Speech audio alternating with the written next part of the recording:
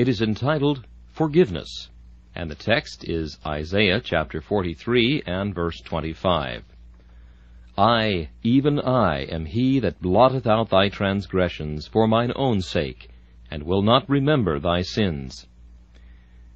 There are some passages of sacred writ which have been more abundantly blessed to the conversion of souls than others. They may be called salvation texts. We may not be able to discover how it is or why it is, but certainly it is the fact that some chosen verses have been more used of God to bring men to the cross of Christ than any others in His Word. Certainly they are not more inspired, but I suppose they are more noticeable from their position, from their peculiar phraseology more adapted to catch the eye of the reader, and more suitable to a prevailing spiritual condition. All the stars in the heavens shine very brightly, but only a few attract the eye of the mariner and direct his course. The reason is this, that those few stars from their peculiar grouping are more readily distinguished, and the eye easily fixes upon them. So I suppose it is with those passages of God's Word which especially attract attention and direct the sinner to the cross of Christ. It so happens that this text is one of the chief of them. I have found it, in my experience, to be a most useful one. For out of the hundreds of persons who have come to me to narrate their conversion and experience, I have found a very large portion who have traced the divine change which has been wrought in their hearts to the hearing of this precious declaration of sovereign mercy read, and the application of it with power to their souls. I, even I, am he that blotteth out thy transgressions for mine own sake, and will not remember thy sins. Hence I feel this morning somewhat pleased to have such a text, because I anticipate that my Master will give me souls, and I feel likewise somewhat afraid lest I should spoil the passage by my own imperfect handling thereof. I will therefore cast myself implicitly on the help of the Spirit, so that whatever I speak may be suggested by Him, and whatever He saith, that may I speak, to the exclusion of my own thoughts as much as possible. We shall notice first today the recipients of mercy, the persons of whom the Lord is here speaking. Secondly, the deed of mercy. I, even I, am he that blotteth out thy transgressions. Thirdly, the reason for mercy, for mine own sake. And fourthly, the promise of mercy. I will not remember thy sins.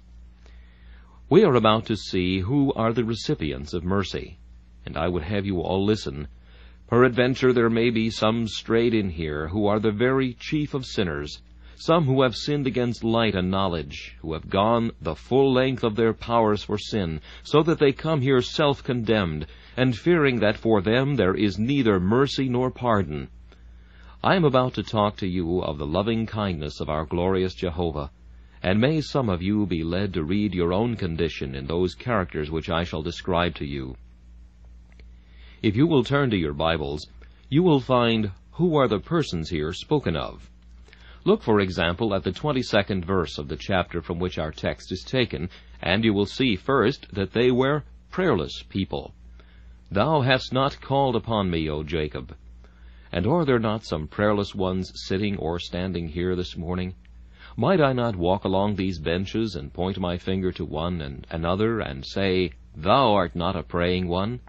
Or might I not reach out my hand to one and another upon this platform and say, Thou hast not been with God in secret, and held heart converse with Him. These prayerless ones may have repeated many a form of prayer, but the breathing desire, the living words have not come from their lips. Thou hast lived, sinner, up to this time without sincere prayer. And if an ejaculation has been forced from thy lips from a fear that took hold of thee, if a cry has gone forth from thee when in the sufferings of a sick bed, because the pains of death gat hold upon thee, if it has not been thy habit to pray, the impressions of that trying period may soon have been forgotten. Is prayer your constant practice, my hearers? How many of you now before me, ay, and behind me too, must confess that you have not prayed, that it is not your habit to hold communion with God? Prayerless souls are Christless souls. For you can have no real fellowship with Christ, no communion with the Father, unless you approach His mercy seat and be often there. And yet if you are condemning yourselves, and lamenting that this has been your condition, you need not despair, for this mercy is for you. Thou hast not called upon me, O Jacob, and yet I, even I, am he that blotteth out thy transgressions for mine own sake. Next, these persons were despisers of religion. For observe the language of the same verse. Thou hast been weary of me, O Israel. And may I not say to some here, Thou despisest religion, thou hatest God. Thou art weary of him, and lovest not his services. And as for the Sabbath day, do not too many of you find it the most tiresome day in the week? And do you not in fact look over your ledger on the Sabbath afternoon?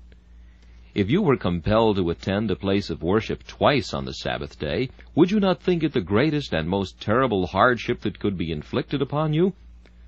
You have to find some worldly amusement to make the hours of the Sabbath day pass away with any comfort at all.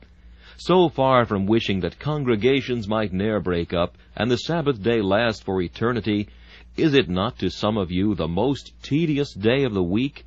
You feel it to be a weariness, and are glad when it is gone. You do not understand the sentiment expressed by the poet.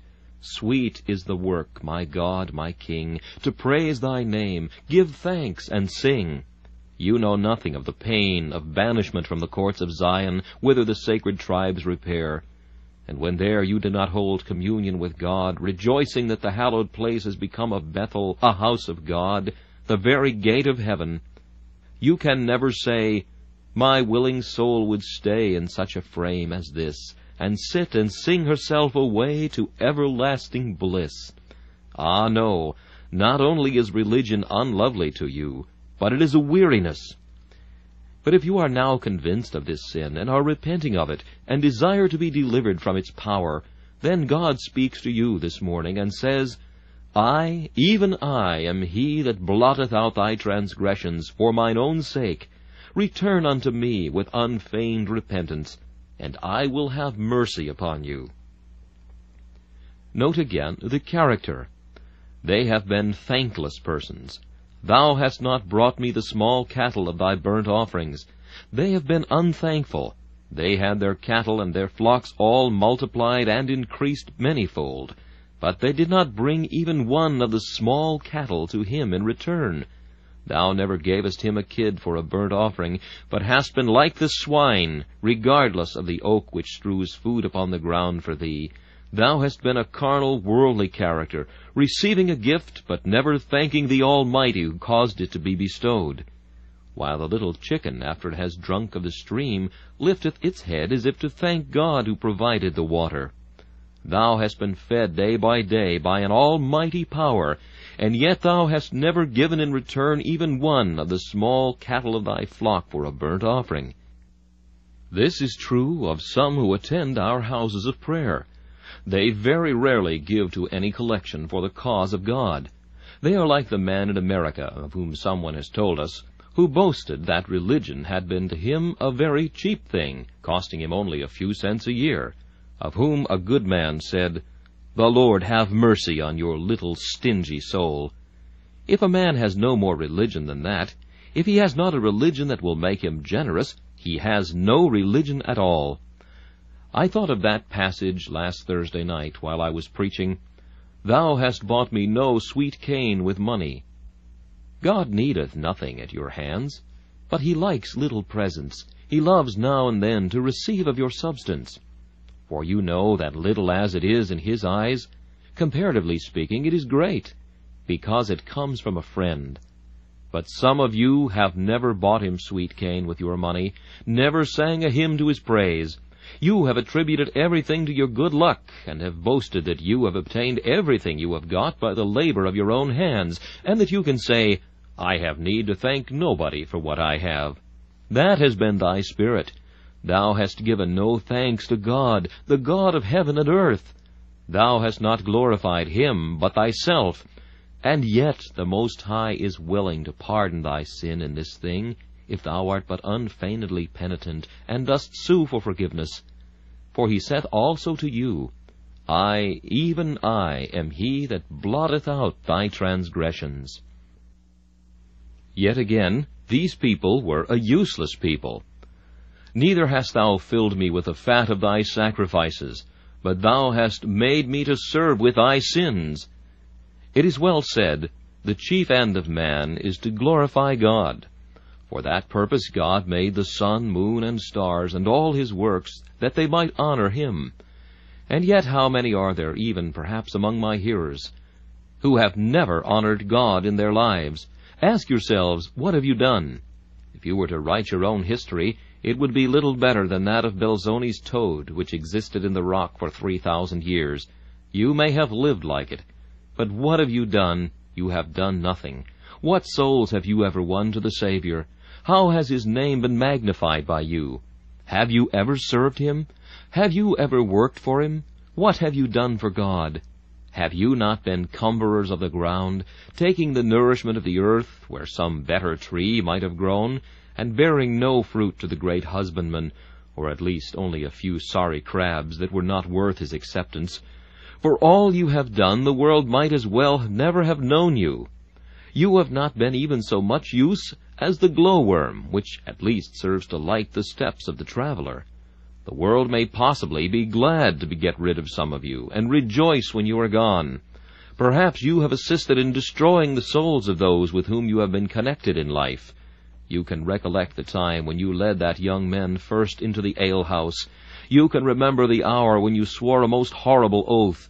Your child was within hearing and learned to be profane also. You may look upon some souls who are going even now to damnation through your example. And in hell you may see spirits starting up from their iron beds, and hear them shrieking in their woe, Who is it that led me here, and caused my soul to be destroyed? Thou art the author of my damnation. Is the indictment true? Will you not be compelled to plead guilty to the charge? Do you not even now repent of your great transgressions?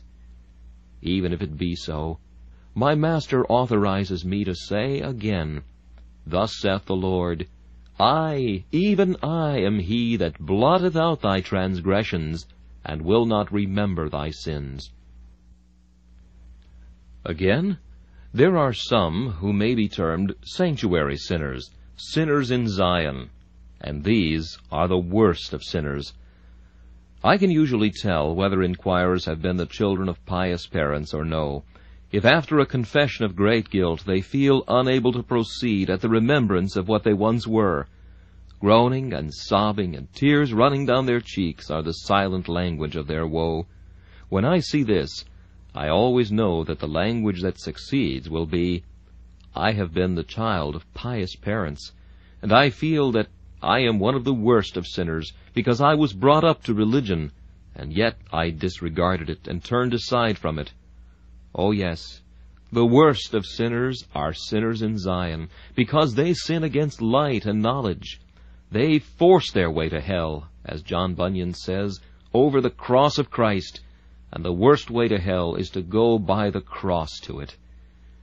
Many of you now before me were consecrated to God by a beloved mother, and your father taught you to read and love the Scriptures of truth. You were brought up like Timothy. You well understand the theory of the way of salvation. And yet you come here, young men, some of you enemies to God and without Christ, and despisers of His Word. Some of you are even scoffers, or if not actually scoffers, you say religion is naught to you, and by your actions, if not by your words, declare it is nothing to you that Jesus should die. Ah, when I speak to you, I would not forget myself. Should it ever be my lot to wake up in hell, I should be amongst the most horribly damned there, for I had a most pious training, and should be forced to take my place with the sanctuary sinners. And you that are such, whom I am now addressing, are you not afraid?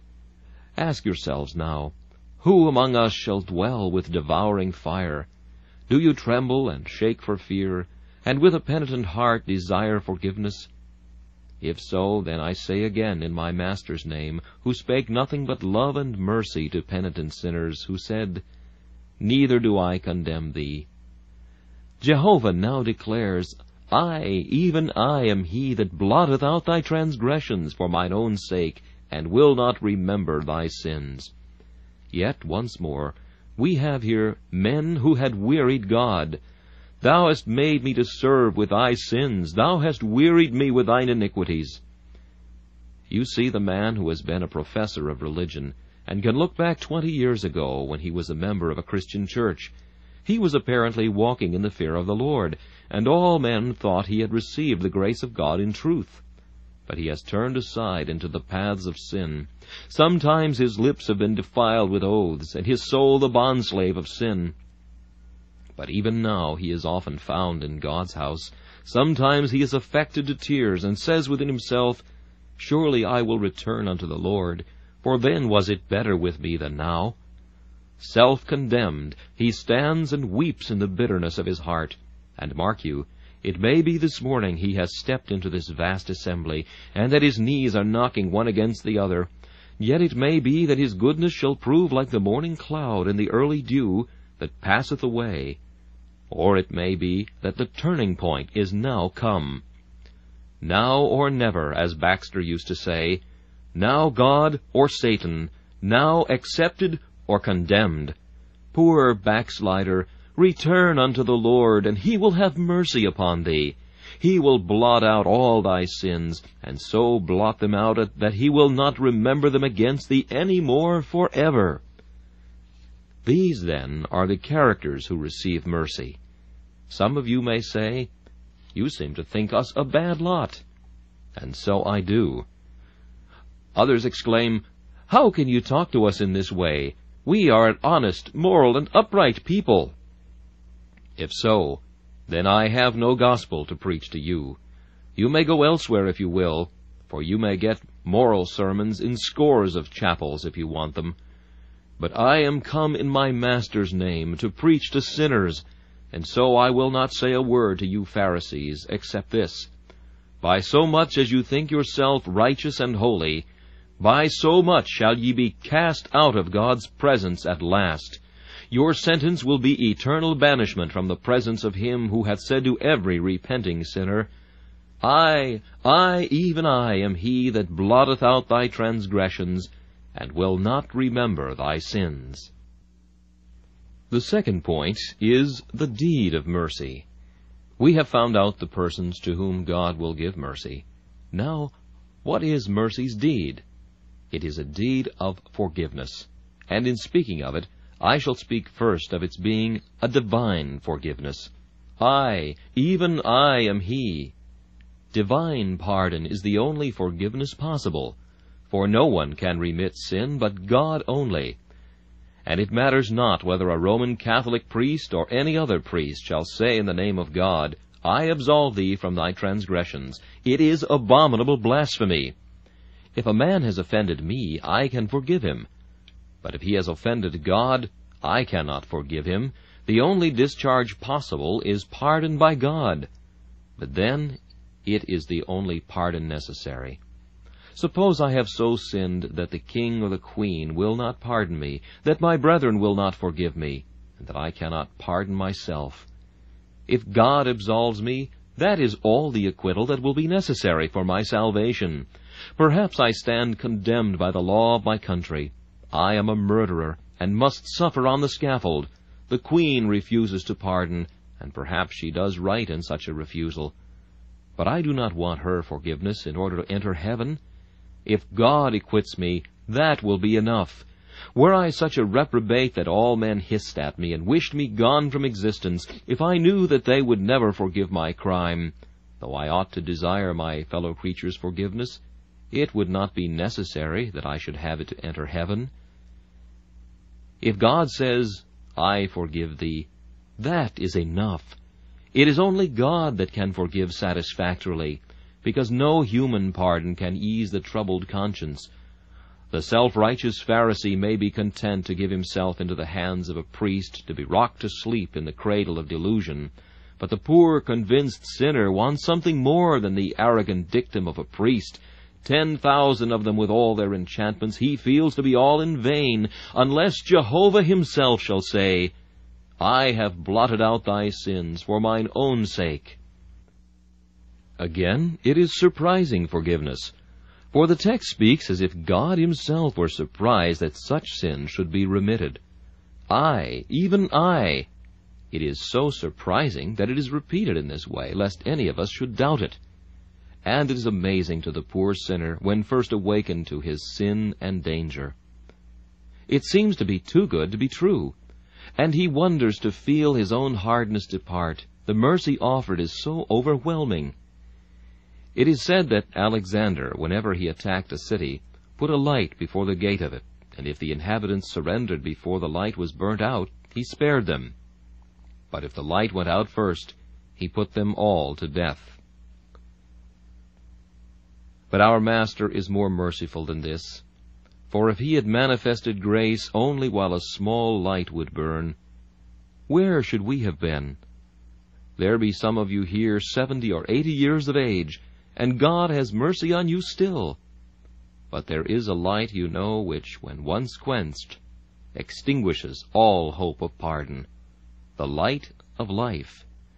See then, gray-headed man, thy candle is burnt almost to the socket. It has but the snuff left. Seventy years thou hast been here, living in sin, and yet mercy waits on thee. But thou shalt soon depart, and mark me, there is no hope for thee then. But surprising grace, mercy's message is still proclaiming, for while the lamp holds out to burn, the vilest sinner may return. Unutterable mercy! There is no sinner out of hell so black but that God can wash him white.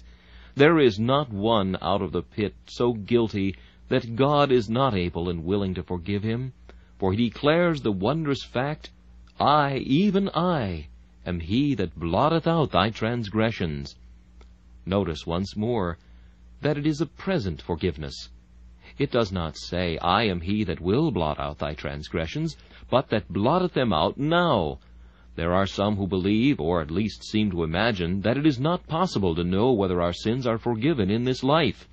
We may have hope, it is thought, that at last there will be a balance to strike on our side, but this will not satisfy the poor soul who is really seeking pardon and is anxious to find it.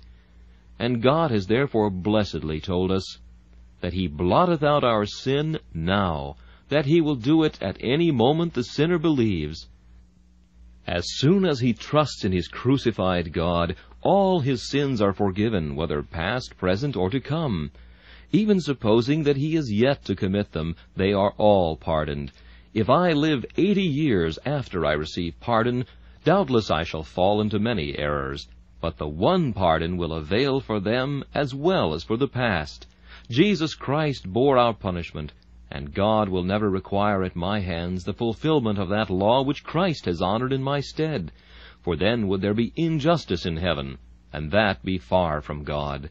It is no more possible for a pardoned man to be lost than for Christ to be lost, because Christ is the sinner's surety. Jehovah will never require my debt to be paid twice. Let none impute injustice to the God of the whole earth. Let none suppose that he will twice exact the penalty of one sin. If you have been the chief of sinners, you may have the chief of sinners' forgiveness, and God can bestow it now. I cannot help noticing the completeness of this forgiveness. Suppose you call on your creditor and say to him, I have nothing to pay with. Well, says he, I can issue a distress against you, and place you in prison and keep you there. You still reply that you have nothing, and he must do what he can. Suppose he should then say, I will forgive all. You now stand amazed, and say, Can it be possible that you will forgive me that great debt of a thousand pounds? He replies, Yes, I will. But how am I to know it? There is a bond. He takes it and crosses it all out, and hands it back to you, and says, There is a full discharge. I have blotted it all out. So does the Lord deal with penitents. He has a book in which all your debts are written. But with the blood of Christ he crosses out the handwriting of ordinances which is there written against you. The bond is destroyed, and he will not demand payment for it again. The devil will sometimes insinuate to the contrary, as he did to Martin Luther. Bring me the catalogue of my sins, said Luther, and he brought a scroll, black and long. Is that all? said Luther. No, said the devil, and he brought yet another. And now, said the heroic saint of God, right at the foot of the scroll, The blood of Jesus Christ, his Son, cleanseth from all sin. That is a full discharge.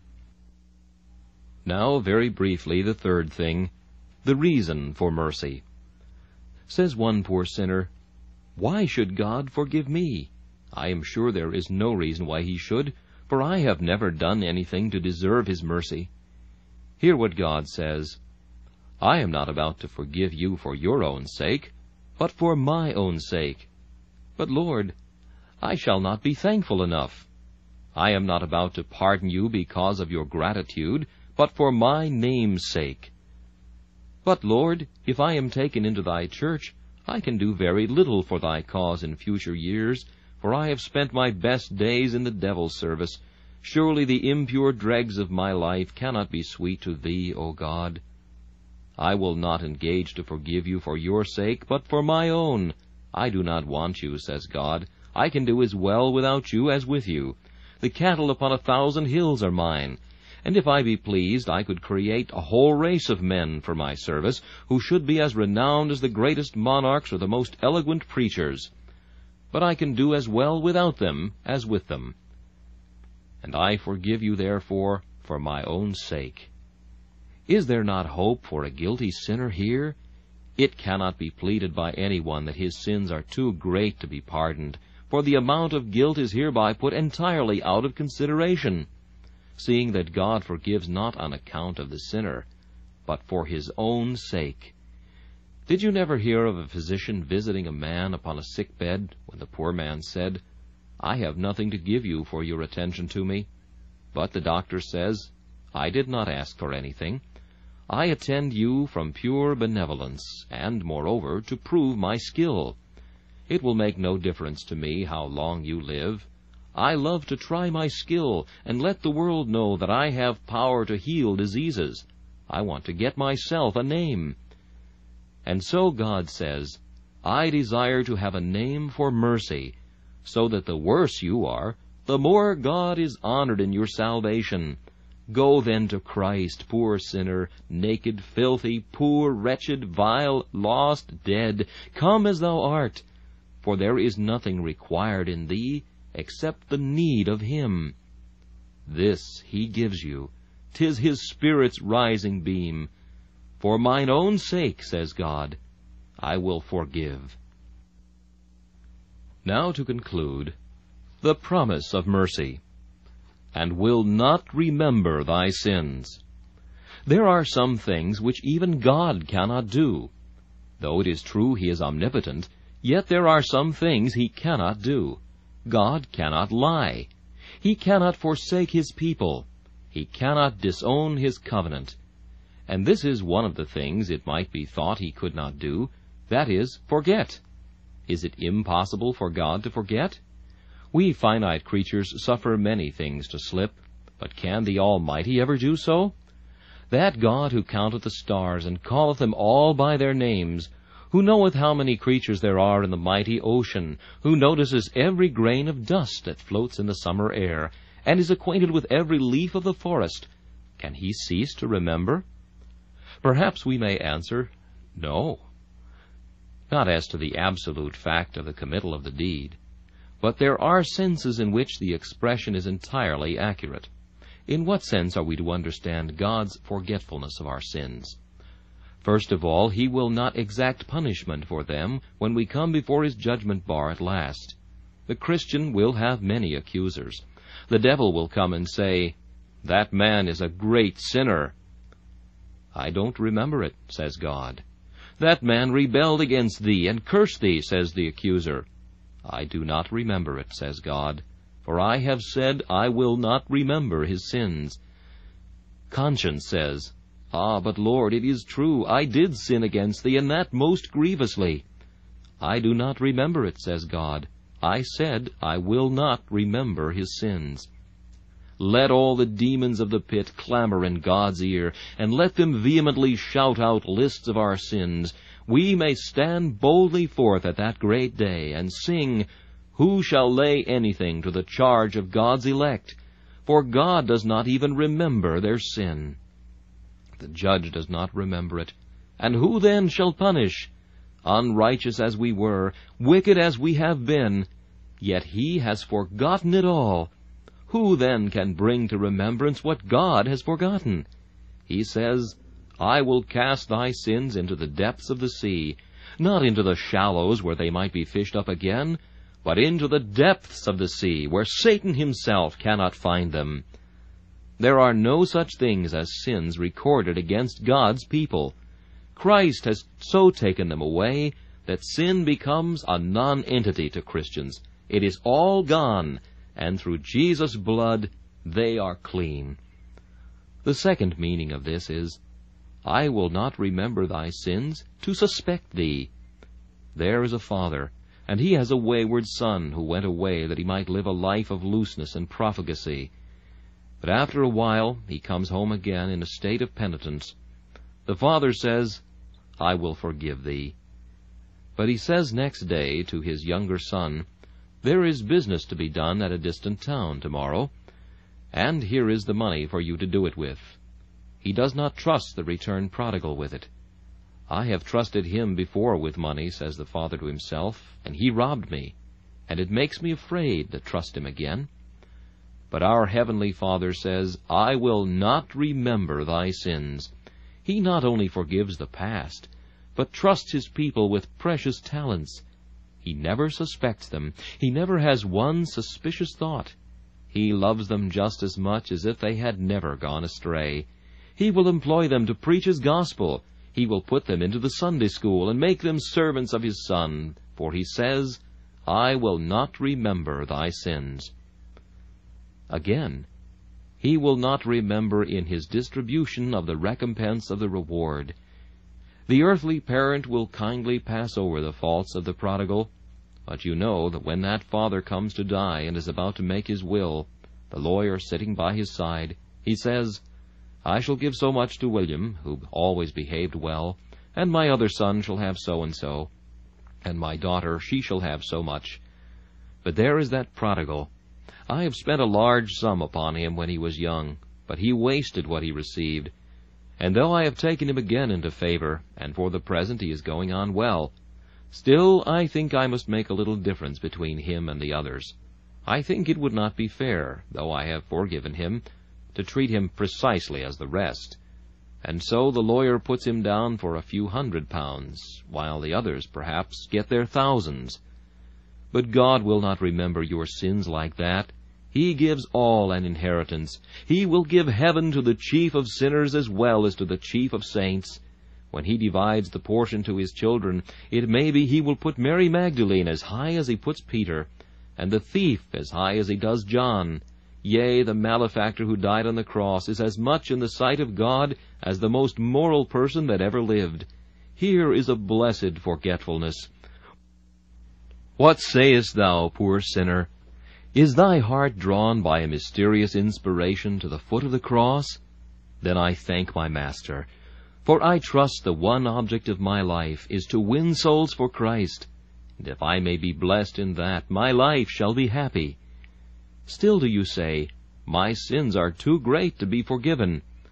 Nay, but, O man, as high as the heaven is above the earth, so great is his mercy above thy sins, and so far does his grace exceed thy thoughts. O, but sayest thou, He will not accept me. What then is the meaning of the text? He is able to save unto the uttermost. Or this, Whosoever cometh unto me I will in no wise cast out. And again, Whosoever will, let him come and take of the water of life freely. Do you still say, This does not include me? Oh, be not so faithless, but rather believe.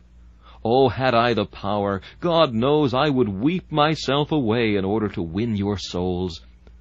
But feeble our compassion proves, and can but weep where most it loves. I can do nothing but preach God's gospel, but since the moment Christ forgave me, I cannot help speaking of his love. I turned away from his gospel, and would have none of his reproofs. I cared not for his voice or his word. That blessed Bible lay unread. These knees refused to bend in prayer, and my eyes looked on vanity. Has he not pardoned? Has he not forgiven? Yes. Then sooner may this tongue cleave to the roof of my mouth than cease to proclaim free grace in all its mighty displays of electing, redeeming, pardoning, and saving mercy. Oh, how loud ought I to sing! Seeing I am out of hell, and delivered from condemnation. And if I am out of hell, why should not you be? Why should I be saved, and not another? It was for sinners, remember, that Jesus came. Mary Magdalene, Saul of Tarsus, the very chief of sinners were accepted. And why do you foolishly conclude that you are cast out? O poor penitent, if you perish, you will be the first penitent who ever did so. God give you this blessing, my dear friends, for Christ's sake. Amen.